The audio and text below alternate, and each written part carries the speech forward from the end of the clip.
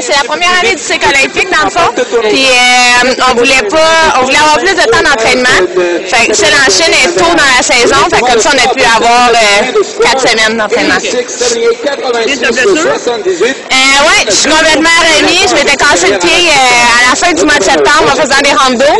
Puis après six semaines, là, j'étais revenu, euh, pas de problème. Attention, c'est fait, tant que retour euh, sur les pistes et puis euh, période d'inactivité. Pas de problème. On a une super bonne équipe de physio, entraîneurs physiques. Fait que ça a bien été aussi, c'est pas dans la cheville, c'est dans le pied. Fait que tu sais, c'était pas une articulation. Fait que c'était, ça glissait mieux.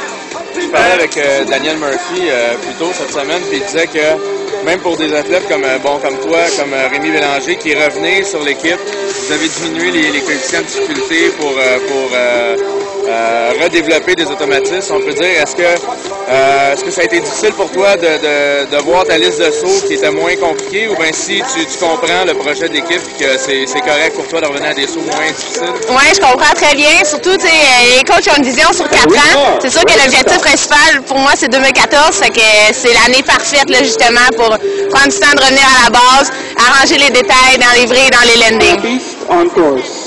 Justement, faisant un saut comme aujourd'hui, c'est un saut que tu considères de base que tu as fait dans, dans ta qualification? Euh, non, ça, c'est quand même mon saut le plus dur, ça neige. OK, donc euh, si tu qualifies, euh, qu'est-ce que tu vas devoir sortir en finale comme ça? Euh, un un saut et une grille de moins.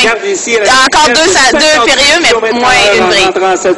Très, très vite, très lentement dans les airs. Chaque fois que Belly saute, ça l'a. Les atterrissages. ouais. Simplement, ça a bien fonctionné ouais, là, au moins, ça a bien marché.